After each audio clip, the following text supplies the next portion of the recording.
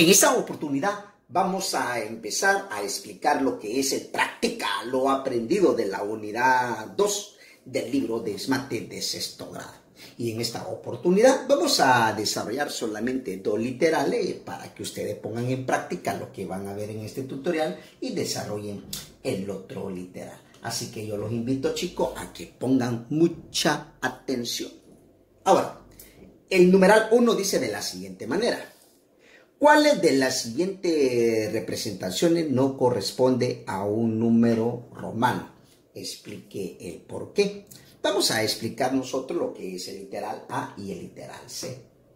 Y como le vuelvo a repetir, le quede el literal B a ustedes para que lo desarrollen en su casita. Ahora, si ustedes analizan, se darán cuenta de que esta representación no representa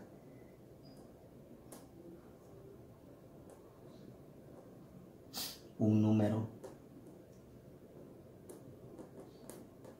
romano. ¿Y eso por qué? Ah, porque la letra A no es parte ¿De quién? De las siete.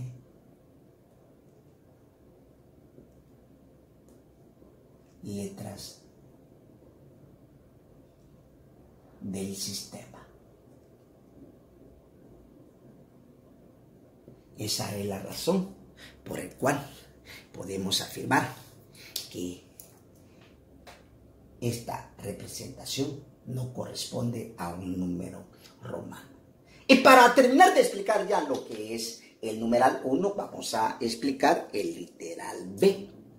O mejor dicho, vamos a explicar el literal C y que le quede a ustedes el literal B. ¿Qué te parece, mi asistente? Ahora, en el literal C, si ustedes observan, tenemos lo que es CL. Y podemos decir nosotros de que sí representa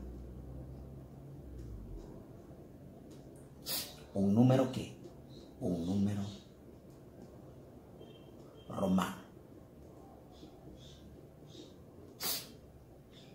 Ahora, ¿y por qué se van a preguntar ustedes? Porque la letra C equivale a, a 100 y la letra L equivale a 50. O sea que CL estaríamos formando lo que es 100, 150.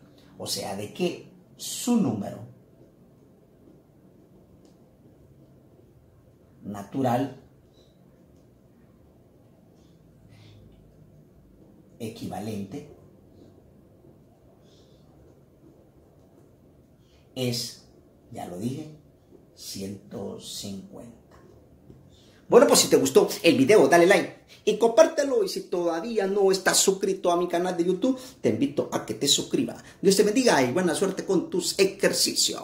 Chao.